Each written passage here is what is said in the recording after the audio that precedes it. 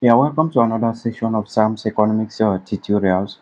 And in today's uh, video, I'm going to teach you how to draw a demand curve from a demand uh, function. That is when a demand function is given, you will be able to draw a demand curve. So uh, we have taken this example. And they say, given uh, the demand function QD equal to 40 minus 2p equation, they say we should draw a demand curve for a for a price range of 5 US dollars. So what we need to do, the first thing we need to do, we need to look for the price intercept and the quantity intercept. So we start with the demand function which is given as we have a QD, we have QD to be equal to 40 minus 2p.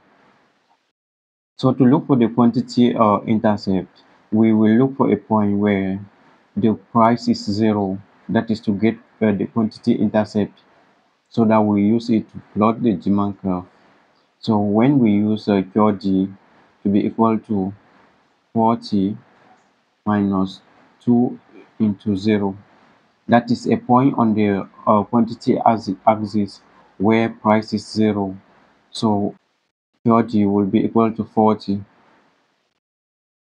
so let me just put it on a graph so that you easily understand.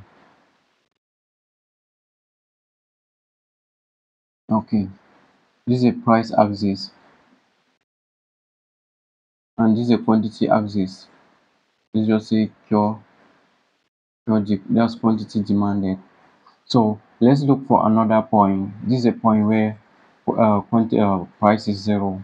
So let's substitute to look for the price intercept. We also look for a point where quantity demanded is zero. So we we are going to have zero to be equal to 40 minus 2p so therefore we are going to have well, we are going to have uh, 2p to be equal to 40 so dividing both sides by 2 we are going to have 2 divided both by sides by 2 p will be equal to 20 so we plot this on the graph on the price axis and the quantity axis. So on this axis we are going to on the quantity axis we are going to have 40 then on the price axis we are going to have 20 so they say we should draw a demand curve for a price range of 5 US dollars. So let's substitute uh, 5 US dollars in the in the demand function. So let's use uh, this other pen so let's substitute that in the demand function. Let's have QD to be equal to 40 minus 2 into 5 we are substituting 5 because they say with the, for a price range of 5 US dollars. So what we are going to have is we have uh, 2 times 5 we have 10 so 40 minus 10 we are going to have 30 that's for the quantity for the quantity axis so we plot that on the graph here we, we will have we have 30 here. Then we have 5 here so the second price range we use uh, we have QD to be equal to 40 minus 2 into 10 so we are going to have when we multiply uh, 10 by 2 we have 20 so 40 minus 20 we are going to have uh, 20 okay that's another price uh, that's the quantity the next quantity for a price range of 10 so we have we now have this we have uh, 20 here then we have 10 here 10 US dollars. So we now look for another point on the quantity axis where the price is 15 because they say for a price range of 5 that is price increases by 5 US dollars for each uh, uh, quantity demanded. So we have the next one we have QD to be equal to 40 minus 2 into 15 to be equal to when we multiply 2 by 15 we are going to have 30 so 40 minus 30 we are going to have 10 so for a price at for a price level of 15 US dollars we are going to have 10 units demanded at 15 US dollars. Um, let me just give you a simple uh, explanation. When a demand function is given like this and you are asked to draw a demand curve it, uh, what you need to do is you look for the price intercept and the quantity intercept.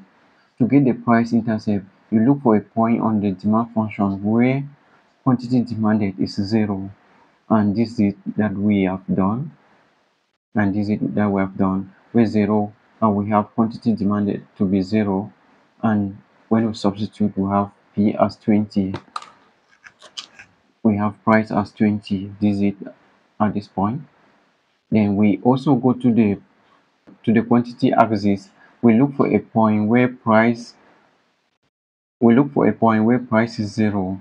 So this is in this uh, uh, uh demand function. So QD we look for where price is zero. So we have 40 minus 2 into 0 that gives us a quantity of 40 40 units.